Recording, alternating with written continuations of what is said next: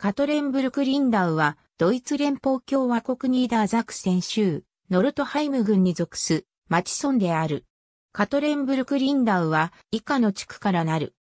この町の村落の大部分は、ゾリング山地、ハルツ山地、アイクスフェルト地方に囲まれたルーメ川、オーダー川、ジュゼ川といった川の渓谷沿いに位置している。周辺は濃い森と主に農業に利用されている草地と高地である。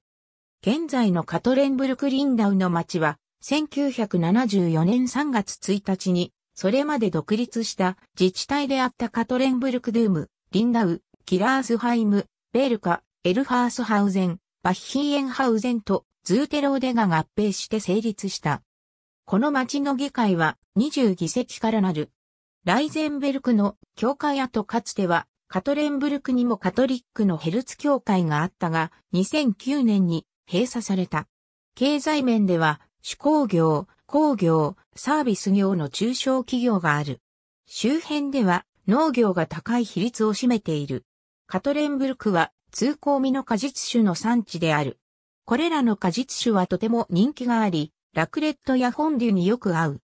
マックス・プランク太陽系研究所文化施設としては、公民館や祝祭ホールの他に、2つの図書館、4つの幼稚園、さらにはカトレンブルク余暇教育館がある。リンダウは2014年までマックス・プランク太陽系研究所の所在地であった。研究所は2004年6月まではマックス・プランク超高層大気物理学研究所と称していた。カトレンブルクリンダウにある学校は、町の中央に連邦道 B241 号線と B247 号線の交差点がある。